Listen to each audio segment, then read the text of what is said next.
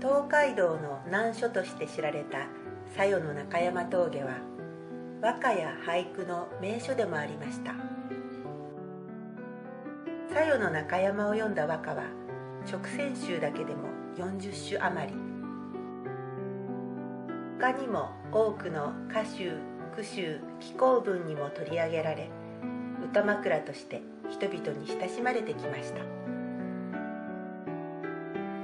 この峠には西行法師や松尾芭蕉の歌や俳句など15の歌碑と句碑があります。